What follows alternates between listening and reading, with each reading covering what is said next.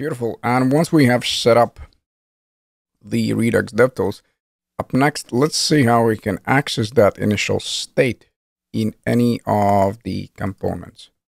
So we have the initial state in the slice. And let's say that I want to set up a navbar component where I want to access the amount. And the setup is following, where we do want to create the components folder, then navbar.js. And in there, we'll import cart icon. So that's the component that's coming from the icons folder. And I'll discuss how we can set up the component in the following video, because at the moment I do want to focus on the state value access. And then we want to import use selector. So that's a hook coming from React Redux. And then in the navbar component before the return, we want to invoke use selector. And the selector is looking for one thing. It's looking for the function. And as a parameter, we get access to the entire state. So we're talking about the entire store. Again, in our case, we just have the cart, but eventually we'll add more reducers over here. So since this is a parameter, of course, we can call it whatever we want. So you'll see probably state, but actually my preference is to call this a store because that signals to me that that is entire store. So the entire state of my application. And then more specifically, I'm looking for dot cart. Why? Because that's the name of the property over here. And then initial state, if you remember, we do have the amount property. And of course, there's million ways how we can set this up. For example, we can just return from this function this amount, or since in this case we're returning the entire object, we can destructure it. So let's try to set this up. Where in the source, I want to create a new folder. And I'm going to call this components over here. Then let's set up that navbar, navbar JS. In here, like I said, first let's import cart icon, something I'm going to discuss in the following video. Then we also want to get that use selector. So let's say use selector hook. That is coming from React Redux. And now let's set up that navbar component. So I'm going to use my extension. I'll set up the navbar. And first, let's set up the return. And then we'll worry about the actual state. So let's say here nav. I do want to add here a div. So inside of the div, let's go, or I'm sorry, inside of the nav, let's go with div. Let's add a class name of nav center. And here we want to go with heading 3 Redux Toolkit. And after that, let's save it. And we don't see anything, so let me refresh. Don't see anything in the browser. And of course, the reason for that is because I didn't import in the app.js. So let me go back. And in the app.js, let's import the navbar and then let's set it up over here. So what I want to do as far as the return in app.js, I just want to go with main and then the navbar. So instead of the heading to Redux Toolkit, we'll go with main tags.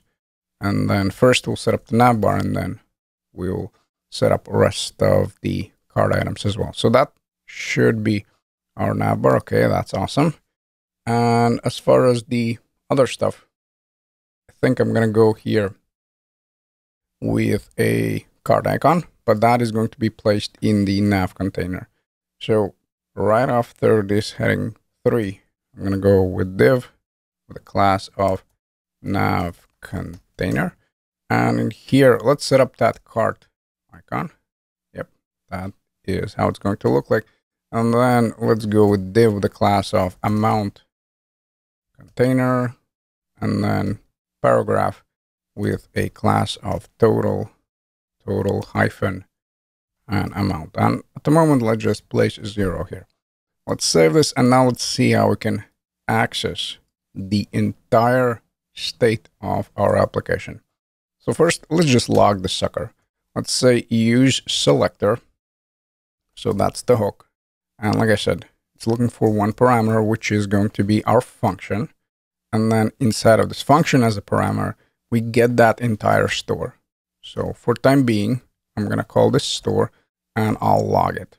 I'll say But the only thing that I want to do in this function is log the store. And what you'll notice in the console is our entire state, which is just awesome, if you ask me. So take a look over here. We have cart items, we have amount, and we have the total. So again, I know I'm repeating myself, but essentially the idea is that using this use selector, notice how we don't need to pass anything coming from the specific slice or nothing like that. We can right away in this function access our entire store. And essentially what we want to do, we want to return something, whether that is specific property, for example, amount, or of course you can return the entire cart and then you can destructure. So first, let's just set it up where we return the amount. So notice over here we have undefined in line five because we're not returning anything from this function yet. And let's set up over here in the paragraph. And then we'll take a look at the, the structuring option as well. I don't think I'm going to leave this for your reference because again, we'll set up multiple ways anyway. So first let's go with amount and that one is equal to, let's again invoke use selector. Let's pass in the function and I'm going to be setting up the arrow function and I'll go right away with implicit return. So again, in here, we're accessing the entire state of our application and we go with store cart because that's the property value.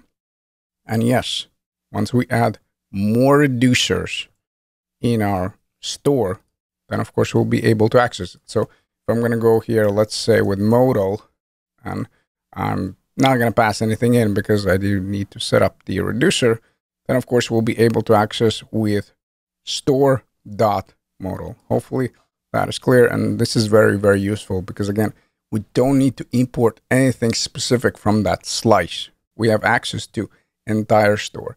And then let's go with amount. So this is what I'm returning from the function. And probably it's not going to be surprising if I pass here the value, it's still going to be zero.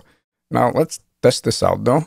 Let's go to our features slice and let's change this around. Let's say that there's going to be five items. The moment I save, notice. Now, of course, I have this value of five. So we know that our functionality works. And like I said, there's million different ways how we can set this up. And one of them is actually destructuring. So I know that I can return store.cart, which is essentially a object, correct? And then inside of it, I have the amount property. So this is also valid. Notice value did not change and we didn't get any bugs. So that's how we can access data from our slice. We need to pick the component. We need to use a use selector. In here, we pass in the function. And as a parameter, this function gets the entire store. And then we just need to pick what we want to return. In my case, I want to return cart from this function. It is an object and it represents this initial state. And more specifically, I'm looking for the amount. That's why I destructure it and then I display it here in the return.